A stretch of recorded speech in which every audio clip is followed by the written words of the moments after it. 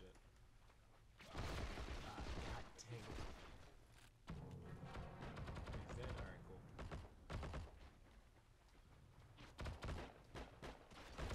Back! Oh my goodness, looked like I was dead!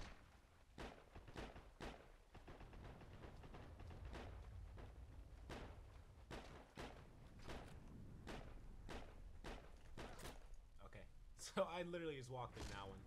Alright, so anyway you guys came here looking for how to uh, how to record a game if it's not true full screen. And if you guys are using Nvidia ShadowPlay, which you guys are, it's a simple click. That's pretty much all it is. I watched multiple videos and I looked at some stuff on Reddit. No one really gave me a simple answer. But um, after messing around in my settings, I finally found it. As simple as that. So you guys make sure you guys in the current version, which I am, which is uh, 3.3.0.95. Um, so you guys want to scroll down to your share settings and click it. And then from there, you should go to privacy. Yeah, privacy control. And then make sure turned up, uh, desktop capture is on. So I'm gonna go ahead and turn it off right now because mine currently is on. But if you guys have it turned off, you guys should, like it wouldn't even give you an option to start it. So yeah, it's gonna tell you to start it, and you have to go to your settings.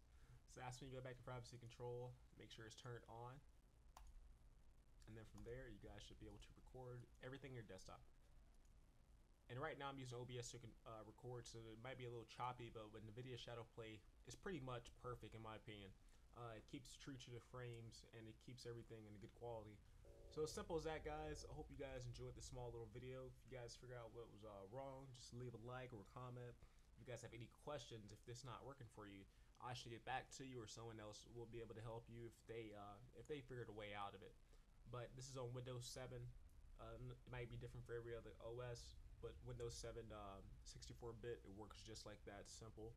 Hopefully you guys uh, figure out your your, uh, your problem. So yeah, if you guys enjoyed the video, leave a like, guys.